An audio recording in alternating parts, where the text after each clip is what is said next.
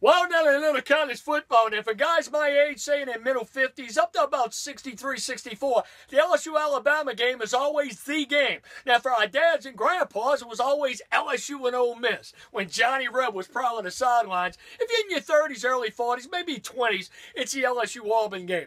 So I'm asking for one big favor.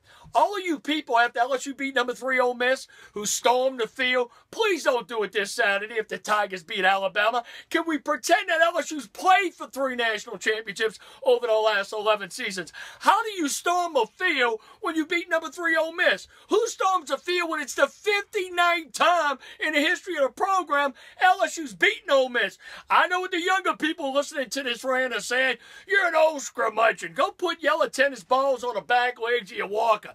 Let your wife change your catheter. You weren't young once. People, let me tell you, in 82 when the fall came in, and a big underdog LSU team was taking on Bobby Bowden's, Florida State Seminoles at Tiger Stadium.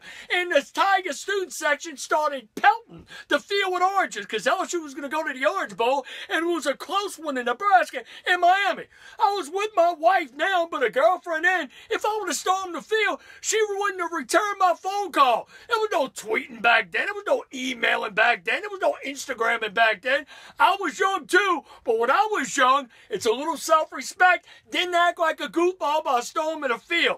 Tiger fans, don't embarrass yourself and the university by storming the field on Saturday night if LSU beats number four Alabama. The program is above that, okay?